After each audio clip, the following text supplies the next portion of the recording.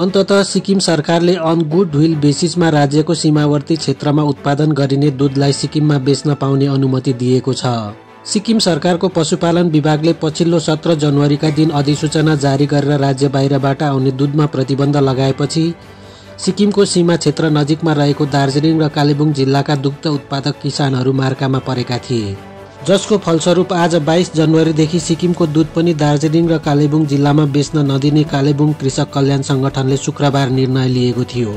सिक्किम सरकारले जारी गरेको अधिसूचनाले दुई क्षेत्रमाझ तनाव हुने स्थिति देखा पर्दै गएको थियो जसलाई समाधान गर्ने पहल सिक्किम सरकारबाट भएको छ।